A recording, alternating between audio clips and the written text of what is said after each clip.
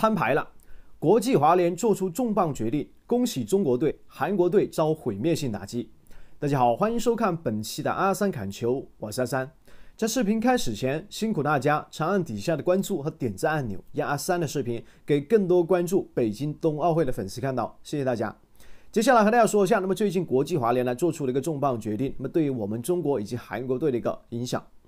那么现在大家也知道啊，北京冬奥会是已经刚刚结束。那么可以说呢，在本次北京冬奥会当中呢，闹的一个风波最大的肯定就是韩国队了。在此前呢，韩国队因为自己选手一些犯规的问题呢，被判出局，导致整个韩国队因为奖牌不保的话，闹出了一个很大的风波，甚至把很多的一些事情呢，要闹到国际仲裁法庭当中。那么导致整个国际滑联呢脸上无光，也确确确实呢，给这个国际机构造成了很大的一些工作上的麻烦。所以在前段时间呢，我们也看到了，在韩国选手这边参加完比赛拿到银牌之后的话，那么首先国际滑联呢已经亮出了态度，把他们整个韩国选手的一个名字呢从赛事的一个大合照当中直接除名。这一点其实当时呢已经是看出了国际滑联的一个不满了。啊就在最近的话，那么随着北京冬奥会结束之后呢，国际滑联这边又再一次放出了个大招。那么可以说呢，这一次他们做出了一个重磅决定，对于整个韩国队来说，简直就是一个毁灭性的一个打击。就在最近，随着冬奥会落幕的话，我们也可以看到呢，啊，这个国际滑联在最近的一个整体的官方动态当中，他们也是发布了一张最新的照片合集。在这个最新的照片合集当中呢，我们可以看到呢，国际滑联是特意把本次北京冬奥会当中呢，韩国队所有选手故意犯规的一些高清照片呢，全部放到了他们官方账号的一个首页，并且的话，向全世界的网友在展示。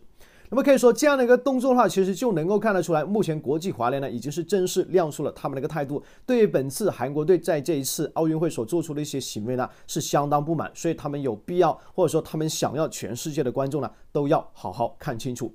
所以可以说，在此前的话，我们也知道呢，韩国队包括一些网友呢，还责怪我们中国队去故意啊去招惹他们，或者说去故意呢去导致韩国队犯规。可以说，当时中国队啊是背了很大一口锅的。但现在随着国际滑联呢做出了这样的一个重磅决定呢，把这些照片放出来的话，其实呢，终于是洗清了我们中国队的一个冤屈。所以在这里呢，我们首先要先恭喜一下我们中国队，终于是告诉韩国的网友呢，我们中国队和本次韩国选手的一些犯规呢，根本没有任何的一些一点问题啊。当然，其实这样一来呢，对于整个韩国队来说呢，无疑是一个毁灭性的一个打击了。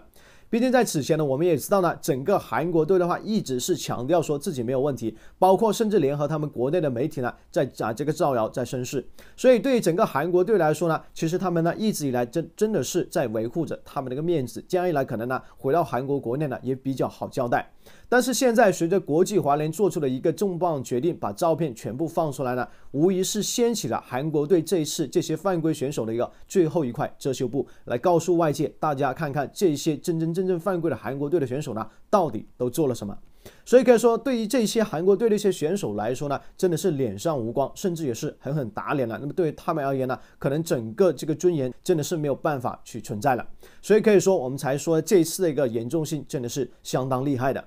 当然，其实啊，这一次的话，我们也看到国际滑联呢，在发出这个照片合集之后呢，那么在不久之后，他们也是把这样的一个照片给删掉了。但是，其实啊，既然照片已经放出来，其实就证明了他们的态度已经是非常的明确。所以，韩国队的一个整体的一个影响呢，应该也是蛮大的。但是，总归来说，我觉得这一次啊，整个韩国队呢，之所以说会面对国际滑联三番五次的一些表态的话，其实呢，也完全是他们自讨苦吃。如果说不是他们故意无理取闹，给整个国际机构，包括北京冬奥会的一些主委呢，造成很大的麻烦，我相信大家呢也不会用这样的一些动作来回应他们。而且这些犯规动作呢，也不是大家故意拍摄，确实是这些韩国的选手呢，啊，真的是在赛场上表现出来的。所以可以说，对他们来说呢，只能够说呢，是注定是搬石头砸自己的脚，自讨苦吃。